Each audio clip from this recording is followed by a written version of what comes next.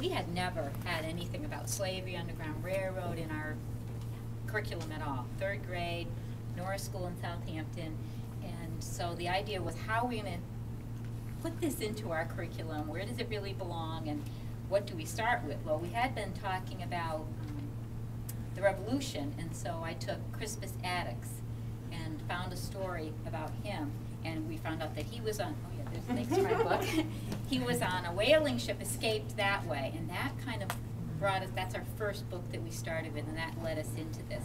But before I even started with this, I asked the students, if you were, what do you look like? Write a description of what you look like. So they wrote a one-page description of what they look like.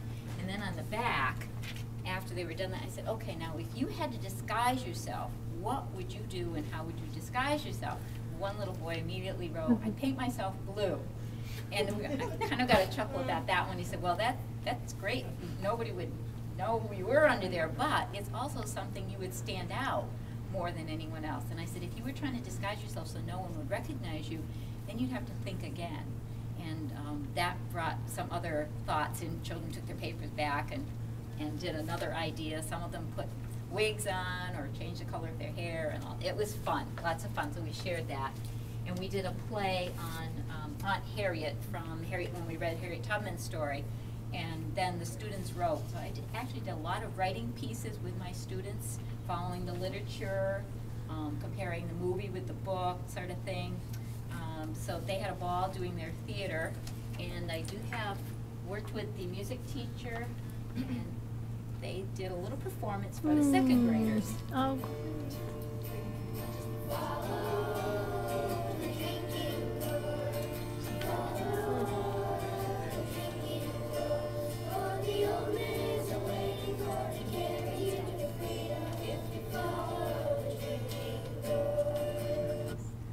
as I was starting this, my whole idea was to just talk about the Underground Railroad, but you can't just talk about the Underground Railroad. And they have no idea what it meant. Um, they've never heard about slavery, some of them, before. I did a pre-assessment, uh, four simple questions, and a lot of them just said, I don't know. I don't Mm. know on the questions I asked. What is the Underground Railroad? What are slaves? They had no idea.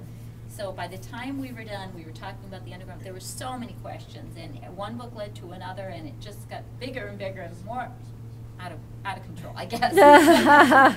But I did have them do a booklet, a creative booklet on the end, an ABC of the Underground Railroad. And one of my favorite is a little girl that has such a hard time learning. And she is, um, you know, a, a disabled child, and she wrote this about K for kidnapped.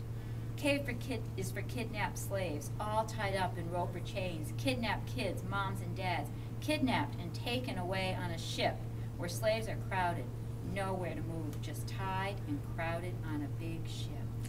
And I thought that really came from her heart. She really understood what I was trying to get across, that it was such a difficult, difficult time for them. Uh, one of my goals was really to find out where the Underground Railroad came through the town of Southampton. And um, we, we are set up for a field trip next week to the local historic society. And uh, we have the older homes as well as the cemetery that we're going to be visiting. So I took, brought a few pictures of the cemetery, Hmm. um, which was established in 1738. Mm. And some of the older homes that do have, the historical homes do have dates on them. So we're heading there next week for our final culmination of the unit, and we have questions all set up for who, who had um, a home that, that hid runaway slaves. And we were expecting to get some good answers. I've been asking the adults around, and of course, the janitor and other people Yeah. their comments. But he doesn't live in the, in the area, so for him to say, oh, my daughter's home had runaway slaves, and, and I said, well, how did you know that? Well, we, there was a panel up in the attic, and they found little shoes and things behind the Oh, panel. wow. And I thought, well, that's great, but we're not in Southampton. So we're hoping to get some better um, responses about our local area. And of course, many people did not say theirs was a haven for underground slaves. No one wanted to know. They didn't want to disclose that information. So it's all by hearsay. We have a town history, but no one wrote anything down about Mm. that.